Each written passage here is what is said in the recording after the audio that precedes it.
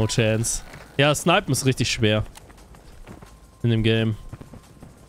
Ich meine, das ist jetzt auch eine krasse Entfernung.